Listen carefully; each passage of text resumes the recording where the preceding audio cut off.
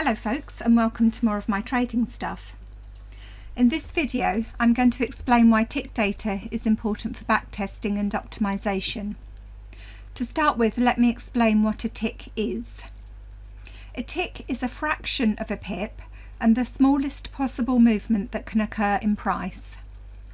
The size of a tick will vary between instruments.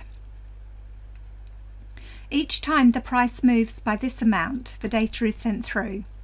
This includes the volume that created this price movement.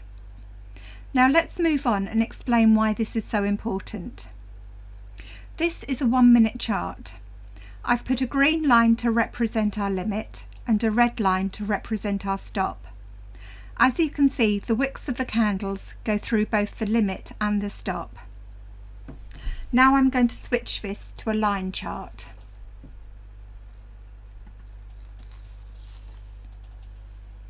This just plots the close price of each candle and this is what the bot would see if you're testing on one minute bars.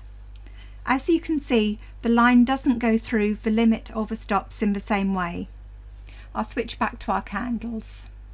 When you test on tick data the bot sees each price movement so it will see what happens with each wick as well as what happens in the body of the candle. As this chart shows, it would pick up your limit and stop being hit when the M1 data wouldn't. This is why testing on tick data is so important. An easy way to remember is the ticks include your wicks. I hope you found this interesting and thank you for watching.